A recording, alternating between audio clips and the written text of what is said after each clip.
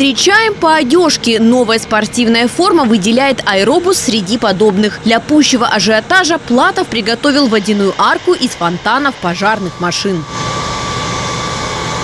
Почти театральная посадка рейса Санкт-Петербург-Ростов-на-Дону – презентация единственного в стране спорта лета. Именно так уже после недавней покраски прозвали воздушное судно пассажиры. Обновленная ливрея аэробуса с одной стороны имитирует лед с узорной эстафетой от хоккеиста к фигуристке, а с другой – футбольное поле и гимнастический ковер с атлетами, казалось бы, полной противоположности. Но именно эти олимпийские дисциплины активнее развиваются на Дону в год детского спорта. Более полутора миллионов человек населения области занимается физической культурой и спортом.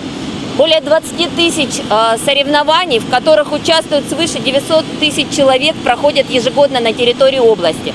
Представлять спортолет доверили опытному пилоту и питерскому суперболельщику Владимиру Воробьеву. В небе и на земле он болеет за наших, а сам активно занимается большим теннисом и горными лыжами. В любимчиках, кроме сборной России по футболу, команда Сербии. Когда подходишь к нему, уже настроение поднимается. Ведь он же еще красивый. А этот самолет, раскрашенный спортивную ливрею, поможет нам всем э, достигнуть более э, высоких э, побед в спорте, сподвигнет нашу молодежь на занятия спортом. Призванный вдохновлять, арт-самолет готов к перевозу фанатов в наш город. А Ростов гостеприимный для болельщиков уже в аэропорту приготовил сюрпризы. Вдоль коридора в зоне прилета встречают инсталлированные строки Пушкина соком кипучим из искрометных виноградников Дона. Юлия Сурикова, Николай Андреянов, Дон 24, Оксайский район.